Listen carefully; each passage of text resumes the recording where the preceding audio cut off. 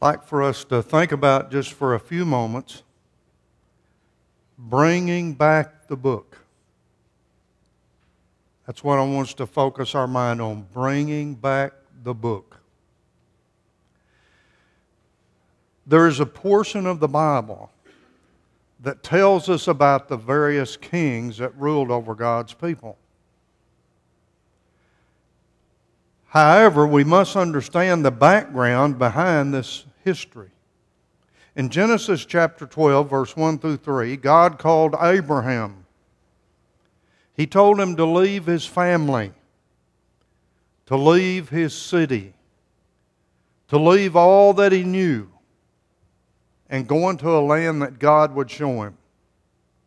And God says, Whoever blesses you, I will bless, and whoever curses you, I will curse.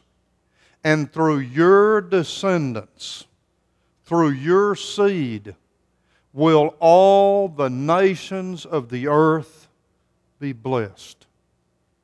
Genesis 12, verse number 3. In Genesis 12, verse number 7, God promised the descendants of Abraham, the Israelite people, a special land. And so God was going to bring his son into the world through the seed of Abraham, and they would have this special land, the land of Palestine, to which God would send his son. But before God's son came to the earth, there were various kings who ruled over God's people. These kings give us a lot of information. And there is a lot of information and a lot of lessons for us to learn from the various kings who rule God's people. In my experience in the church, I've found that many people in the church know very little about these kings. Now, most members of the Church of Christ, they can tell you the first three kings that ruled the Jewish people. They can rattle that right off for you. In fact, most of their children can even tell you the first three kings of Israel. But when you get into the other kings that rule God's people, I find that we are quite deficient in our knowledge of these kings. And that's very unfortunate because these kings not only provide us with valuable and significant history, they teach us many, many valuable lessons. Let us never forget Romans 15 4. Whatsoever things were written aforetime were written for our learning, that we, through patience and comfort of the Scriptures, might have hope. All this information about these kings is not just history for mere history's sake, it is to teach God's people valuable lessons. 1 Corinthians chapter 10 verse 11. Paul talked about things that happened in the Old Testament and he, he said these things happen for examples, for our admonition, upon whom the ends of the world have come. They have been written and preserved for God's people. I want us to talk briefly about a man by the name of Josiah. This individual was a king over the kingdom of Judah. He was only eight years old when he came to the throne. We can learn about this man in the Bible in 2 Kings chapter 22 and 23 and in 2 Chronicles chapter 34 and 35. For the sake of time, today I want us to focus in on chapter 34, 2 Chronicles chapter 34. And if you have time when you get home, you might just read that entire chapter about this individual. When you start reading about Josiah, he's an amazement, really. He grew, he grew up in very evil surroundings. He grew up in a very corrupt environment. In fact, his own relatives were ungodly and corrupt.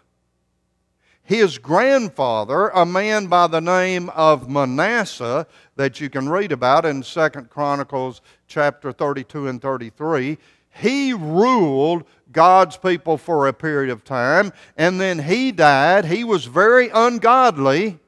At the end of his life, he repented, but most of his life, he was a very ungodly, wicked person.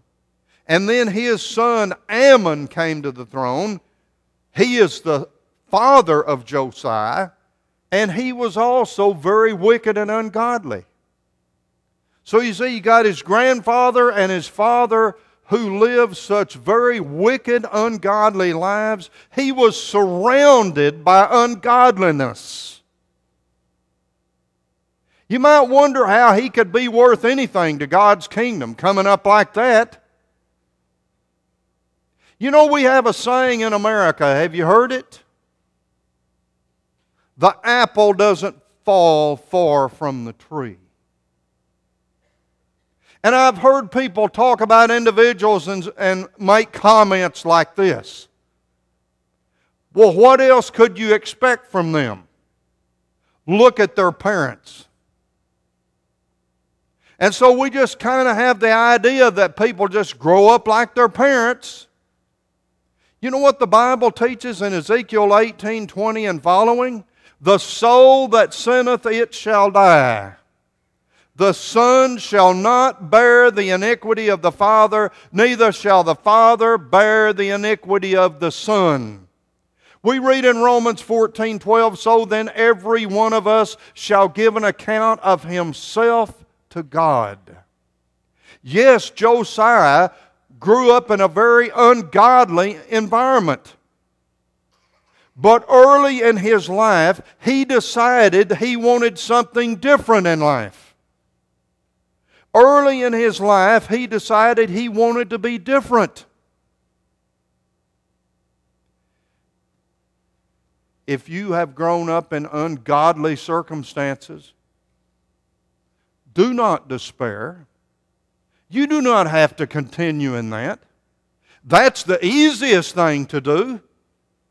All that corruption that you saw growing up every day of your life, all that evil and ungodliness, you understand that. You know that. You're familiar with that. So it's easy just to go with what you're familiar with and just be like, like you've always seen. That's the easiest thing to do.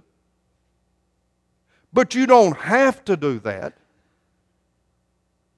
You don't have to act the way that you were raised if it was ungodly. Revelation 22 17. You have a choice. Whosoever will, let him partake of the water of life freely. God gives you free will. You can choose to be different. You don't have to be that way. You can have a better life. That's what Josiah had. His grandfather, his father, chose to live for the devil. They chose by their own free will ungodliness. They forsook the God of heaven. They lived in the ways of the world. That's what they wanted. Josiah comes along and he decides he wants something different. He had a better life, a different life, and so can you. Look in chapter 34. In verse number 2, Josiah did what was right in the eyes of God. Didn't turn to the right, didn't turn to the left. But you go back to chapter 33 and you read about his grandfather and his father, and it says they did evil in the sight of the Lord. You contrast those two people. His father and grandfather, they did evil in the sight of the Lord. And you contrast that in 2 Chronicles 34, verse 2, with Josiah. He did what was right in the eyes of God. Very refreshing. Verse number 3. 2 Chronicles 34, verse number 3. While he was yet young, Some people think you got to wait till you're old. Some people think you got to live your life out in worldliness and get all that out of your system, and then when you get old, then you choose to seek God. Well, look what it says about this man. While he was yet young, this man chose to seek after God. Verse 3. Ecclesiastes 12 and verse 1. Remember thy Creator in the days of thy youth. Young people, here is an, a great example for you. Here's one of those unsung heroes of the Bible. We don't hear much about Josiah, but he's one of the great heroes in the Bible. And as a young person, 16 years old. He began to reign when he was eight. Of course, he had help. But eight years later, at the age of 16, he made a decision in his life I want to seek God. What a beautiful decision for a young person to make. Make it while you're young, before all your habits of life have formed. You are forming habits, young people, right now that may very well last the rest of your life. Start forming habits that are good and godly, reading the Bible, praying to God, trying to find the God of heaven, trying to live for Him. Make that decision while you are young. Josiah, because of verse 3, because he decided at the age of 16 he was going to serve God, his entire life changed. See, it wasn't just a flippant decision. wasn't just a nice little religious time in his life. This changed his whole life. Everything he did from now on is going to be different. And so, as the leader of God's people, in verse 4 and following, he starts leading all these religious reforms. He starts bringing people back to the book because they have strayed so far away. Josiah begins to make all of these reforms, and in verse 8 and following, just keep reading there in Second Chronicles 34. He makes the decision that the temple needed to be repaired. It had been in desolation during the years of his grandfather and father. It had idols in it. It had been desecrated. So he makes the decision to repair God's house. You know, God had never intended for sacred things to be desecrated? Sacred things like the temple and the priesthood and the worship of God. God never intended that these holy, sacred things be desecrated by His people, but that's exactly what they had done. It reminds me of the time when Jesus was on earth and he went down to the temple of God in Matthew 21, verse 12 and 13. And a place that was to be a house of worship, a place of holiness, they had turned into a business affair. Jesus said, My Father's house is to be called a house of prayer, and you have made it a den of thieves and he started to run them out of the temple, That's an image we don't have of Jesus, isn't it? You know, he wasn't just a quiet little meek person who never said anything to offend anyone and he just kind of went along with it. That's not the kind of person Jesus was. He wasn't afraid of controversy like some of us in the churches of Christ. He went right into the temple and told them, This is to be a house of prayer. You've made it a den of thieves. And then he starts to run them out of the temple. God never intended that holy things be desecrated by man. And think about his church. Bought with the blood of Jesus, Acts 20 and verse 28. Think about how the church has been desecrated in our day and time.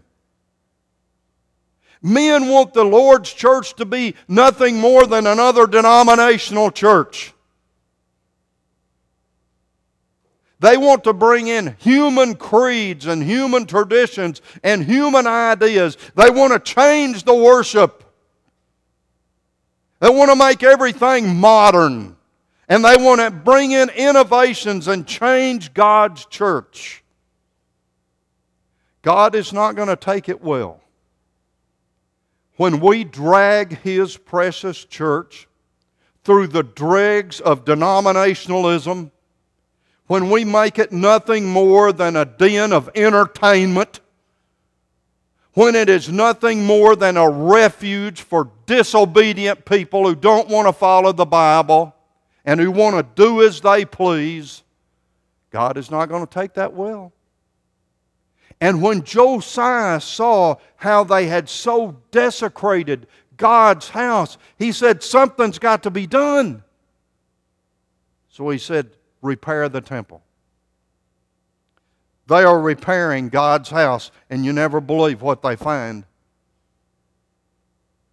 They find God's book. Now, think about this. How could God's people lose God's book in God's house? Think about that one. How could that happen? People can go so far away from God and they can leave the ways of God. This is the kind of thing that happens. And so they find this book of the law. It's been lost. They bring it to Josiah and they read it to him. And they read the portion in there that explains how God's people and God's king is going to be punished because God's people have forsaken him. And they read that to the king. All he would have had to say is, cut off his head.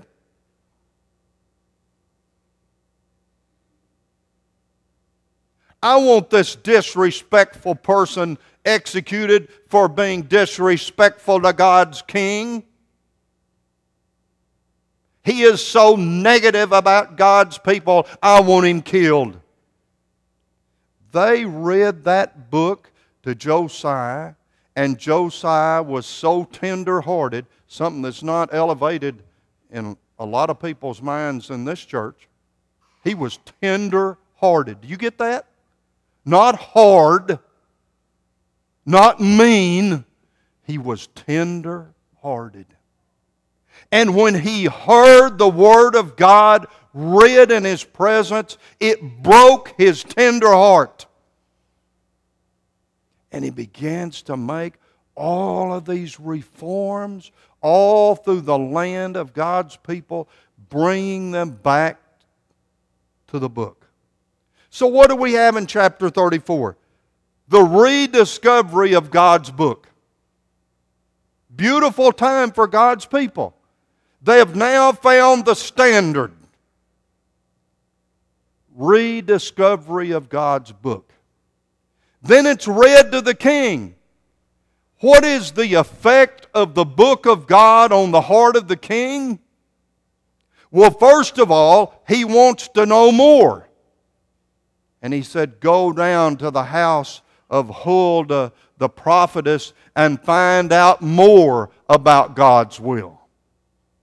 It reminds me of that song that we sometimes sing more about Jesus would I know. More, more about Jesus. When he heard the Word of God, he wanted to know more of it. His heart was tender. He was tender-hearted and sensitive. You know what the Bible says? 1 Thessalonians chapter 2, verse 13 in the New Testament. Paul talked to the people at Thessalonica and he said, When I came and preached to you, he said, You didn't receive it as the word of men, but you received it as it truly is the Word of God, which effectively worketh in you that believe. 1 Thessalonians 2, verse 13. What effect does the Word of God have on you? You just leave out of here mad? You get upset? Well, who's he talking about? What has he got in mind? Instead of just accepting what the Bible has to say and repenting of our sins, we got all kind of excuses and we got all kind of defenses that are set up that we couldn't hear the Word of God if we wanted to. We are, our hearts have become so hard, we're not going to listen to it. So we become angry and upset. Or we make excuses. This man, when he heard the Word of God, you don't read one excuse. He could have said, Well, it's all these people, they're the ones that are all messed up. You don't read one excuse. You see a tender hearted man just accepting what the Bible had to say and changing his whole life. What effect does the Word of God have on you when you hear it? So they go to the prophetess Huldah and they ask her about God's will. And she says, The king that heard that book, because his heart was tender, because he humbled himself in the sight of the Lord, he's not going to see the punishment that's going to come to God's people. The rest of you are going to be horribly punished because you have forsaken God the effect of the Word of God on this man. It changed his whole life. What does it do for you? It's alive. It's powerful. Hebrews 4:12. It's the power of God to save your soul. Romans 1:16. It will cut right down into the deepest most parts of your soul and heart if you will allow it. If you become so hard and insensitive that you will not listen to it, it can do nothing. But because God has given you free will, if you will listen to the Word of God, it can change your whole life. So, what did Josiah do? He spent the rest of his life bringing God's people back to the book. That's what his whole life is now about. That's the most important thing in his whole life is getting God's people back into the Bible. You look at modern day religion. In many cases, the Bible is ignored. All kinds of gimmicks are used to get people into church buildings. They even give things away. They even give away tickets and, and have all kinds of things that will attract people to get them into a church service. Every kind of gimmick you can imagine and some you can't imagine are being used in modern day religion in this very location. It's being done religious thinking people need to go back to the book. They need to go back to the book, and in going back to the book, you have to discard all human tradition, all human doctrine, and just go back to the Bible. 2 Timothy 3:15 From a child you have known the Holy Scriptures, which are able to make you wise unto salvation through Christ Jesus our Lord. All Scripture is given by inspiration of God it is profitable, it is useful for doctrine, for correction, for reproof, for instruction in righteousness, that the man of God may be perfect, thoroughly furnished unto all good works. When you have the inspired Word of God, why would you want to be led by some book that some group of men wrote that are not even inspired? Why would you want to go to some church that's being led by some group of men that are just giving their opinions and their ideas about religion? When you can have the Word of God. Religious thinking people need to go back to the Bible. They need to go back to the book. We need to go back to the book in our doctrine. We need to go back to the book in our practices. Jesus said in Matthew 15 9, In vain do they worship me, teaching for doctrines the commandments of men. Some little prayer book? Who wrote that prayer book that you read every day? Who wrote it? You ever just ask yourself, who wrote this little book? Who wrote this little book that I'm giving my life for? Some group of religious men when you can have the Word of Almighty God and be led by the Word of God, why would you go by some little prayer book that some group of men have written? Well, I've always believed this way. Well, the Hindus have always believed that way. Does that make it all right?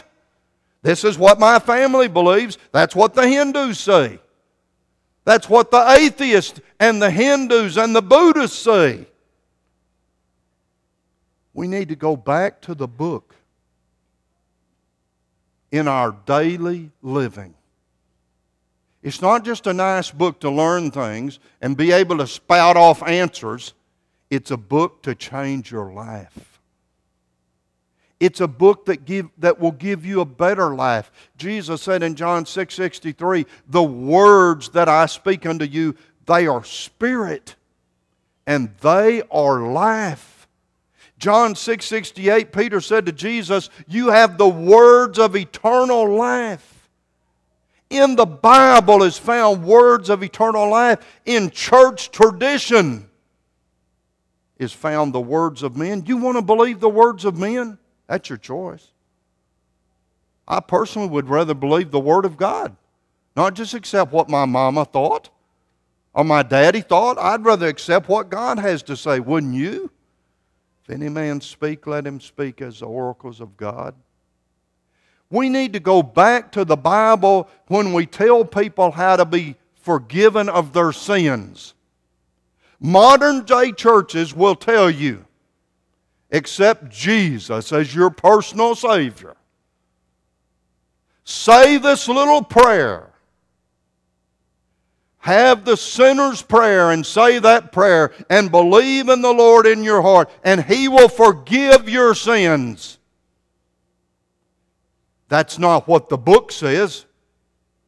Yes, the book says you better believe in Christ in John 8 24. If you don't believe in Him, you're going to be lost. But the book also says you have to turn away from your sins. Acts 17, verse 30. You have to turn away from your sins. You want to have your sins forgiven? You have to turn away from them. You can't just continue in them and God just forgive you. You want to have your sins forgiven? You've got to confess Jesus before men, Romans 10 9 and 10.